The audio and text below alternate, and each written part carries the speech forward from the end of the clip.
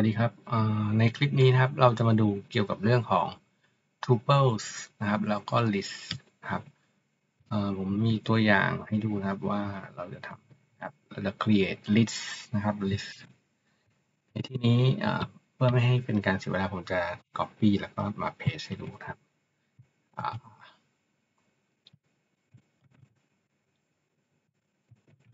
โอเคในการ create list นะครับ list คืออะไร list ก็จะเป็นคล้ายๆกับเซตเซตหนึ่งครับ แต่ว่าจะใช้สัญลักษณ์ที่เป็นวงเล็บสี่เหลี่ยมนะครับวงเล็บที่เป็นแบบสี่เหลี่ยมนะครับ อันนี้ต้องต้องแยกให้ออกครับ มีอีกอันหนึ่งคือ tuples นะครับ จะแตกต่างกัน เดี๋ยวเรามาดูครับ แต่ให้ดู list ก่อนนะครับ list ก็คือเป็นเครื่องหมายวงเล็บสี่เหลี่ยมนะครับ ขอเน้นย้ำอีกทีนึงเป็นเป็นแบบสี่เหลี่ยม ถ้าผมต้องการ print C นะครับผมคอมเมนต์นี้ออกไปก่อน ถ้าคอมเมนต์ C นะครับ เราเห็นว่ามันก็จะ print สิ่งที่เราตั้งไว้ตอนแรกออกมาครับ คราวนี้แล้วถ้าเราต้องการเลือกเฉพาะตัว ตัวแรกล่ะนะครับ อันนี้ก็คือ Python เนี่ยจะเริ่มจากศูนย์ นะครับดังนั้นถ้าเราเลือกตัวแรกเนี่ยก็คือเราจะใช้ c แล้วก็วงเล็บสี่เหลี่ยม หมายเลขศูนย์ก็จะนับไปครับศูนย์หนึ่งสองสามสี่นั้นเริ่มตั้งแต่ศูนย์หนึ่งสองสามสี่ไปครับงั้นถ้าผมปริ้นตัวสี่นะครับ ก็คือ c วงเล็บสี่ก็คือศูนย์หนึ่งสองสามสี่นั้นเดี๋ยวจะต้องออกมาหนึ่งพันห้าร้อยสี่สิบสามนะครับ โอเค นี้ก็คือเป็นการสร้าง list นะครับ ต่อมา อันนี้ก็คือถ้าผมต้องการที่จะใช้คำสั่งอื่นล่ะนะครับ เรามาดู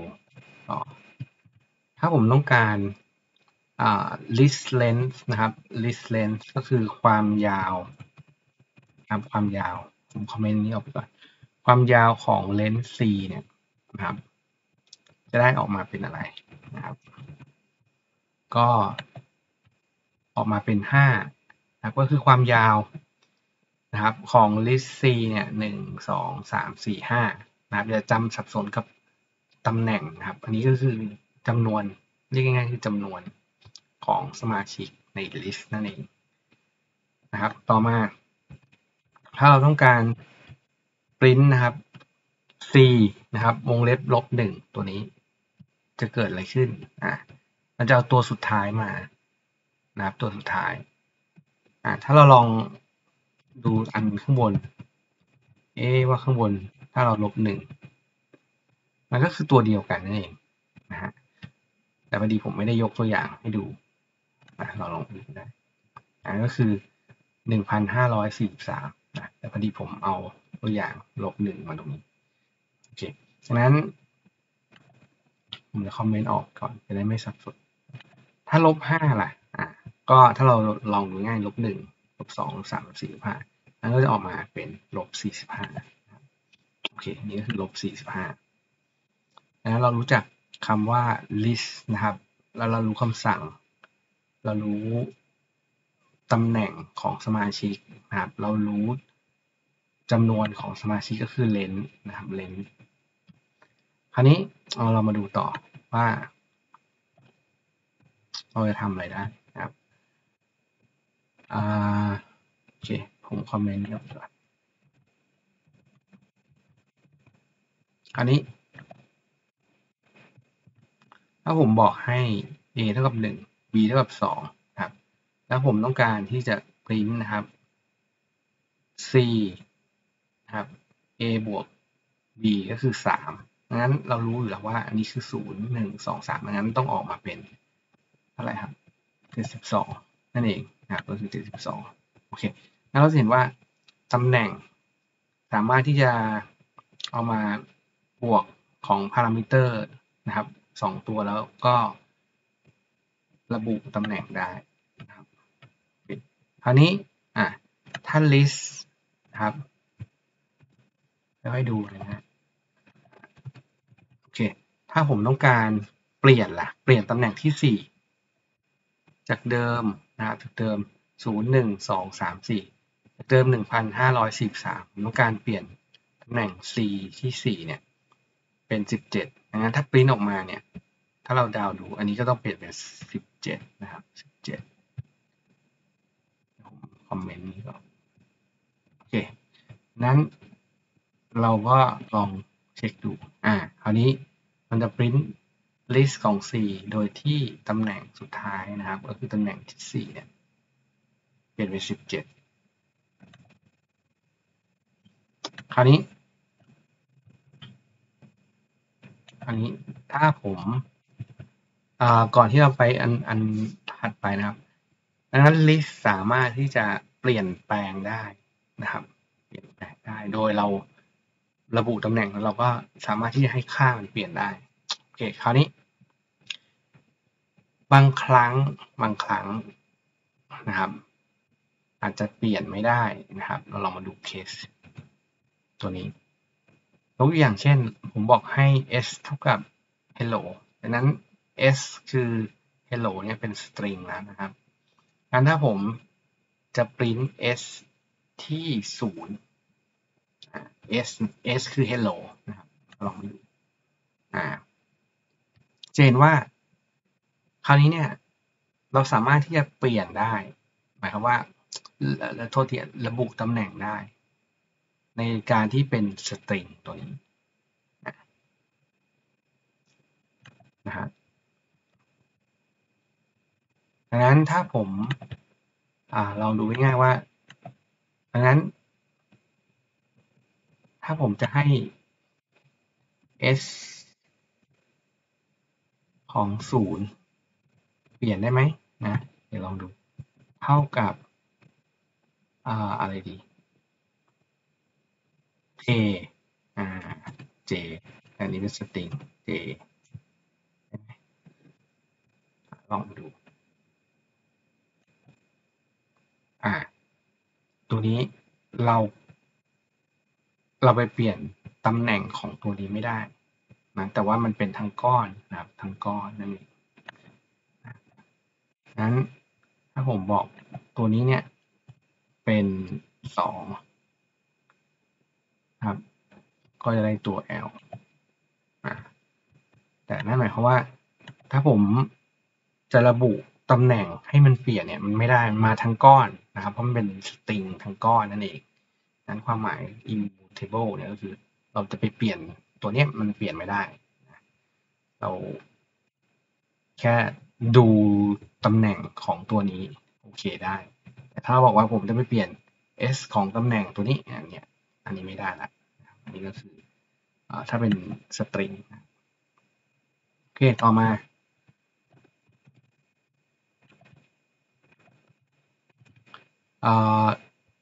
ดังนั้น c 0บวก c 1บวก c 2นั้นเราสามารถที่จะปริ้นออกมาได้ เป็นลบ39อันนี้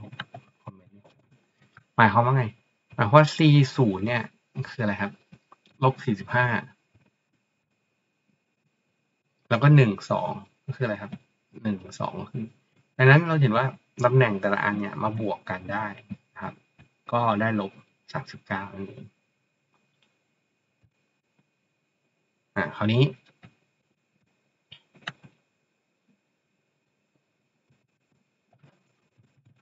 เราลองมาดูต่อนะครับ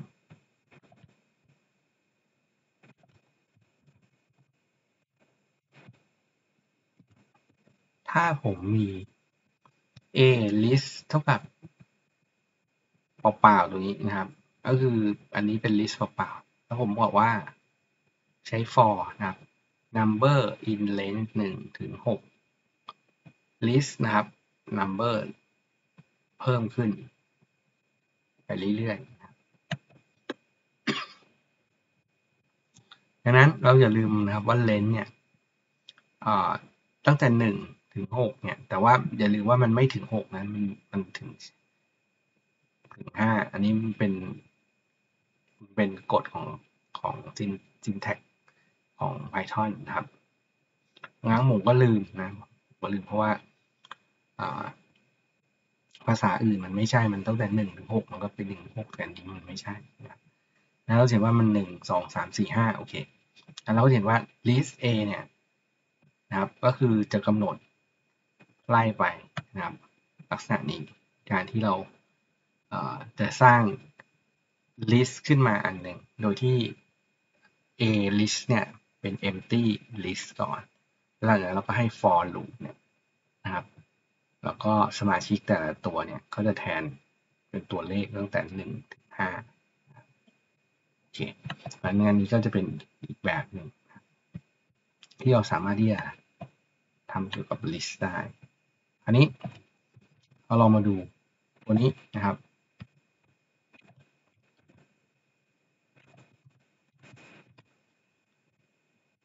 ถ้าเรามี list หนึ่ง สิบยี่สิบสามสิบ list สองสี่สิบห้าสิบถ้าผมเอา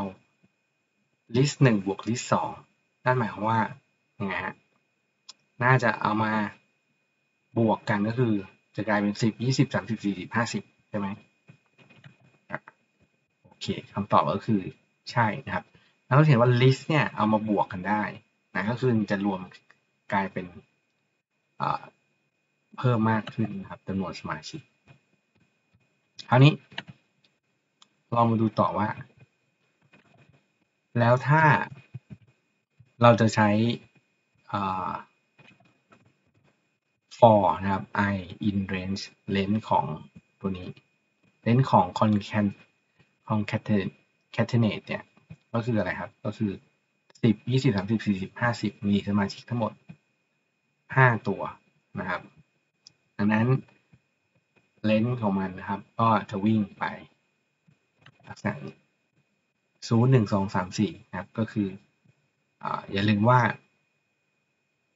มันจะเริ่มนะครับ เริ่มจาก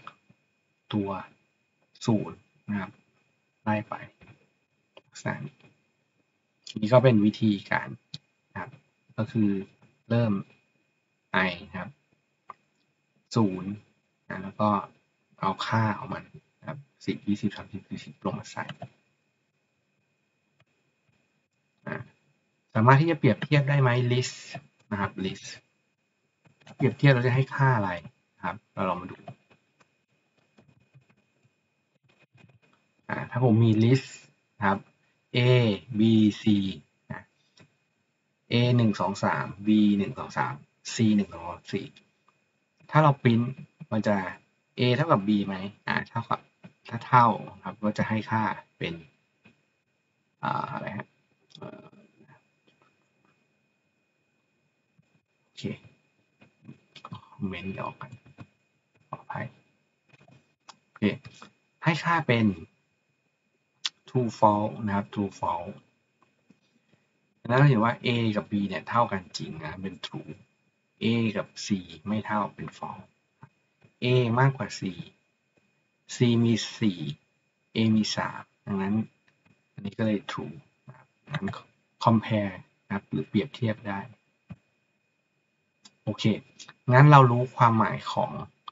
list ไปแล้ว ต่อมาเราจะมาดูเกี่ยวกับคำว่า tuple นะครับ tuple